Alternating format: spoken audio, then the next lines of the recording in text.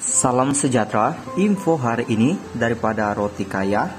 Dayan Trisa lega saudara marah, tidak tanya pasal jodoh. Usia sudah menginjak 29 tahun, sudah pasti pelakon dan penyanyi Dayan, tidak terlepas dengan soal jodoh. Walau bagaimanapun, Dayan meluahkan rasa lega saudara marahnya tidak bertanyakan mengenai perkara itu ketika balik beraya.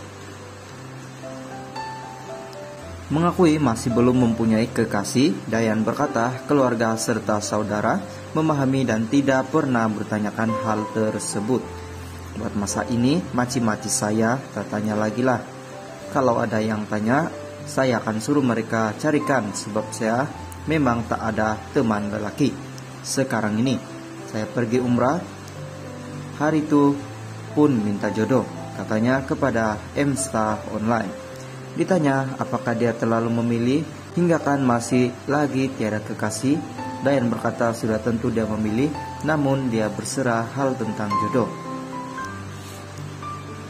Memilih itu mestilah kena cari yang oke, beradab, setia, kelakar, dan lembut dan lemah lembut. Kalau jodoh memang tertulis, nah buat macam mana kan? Tolong doakan katanya.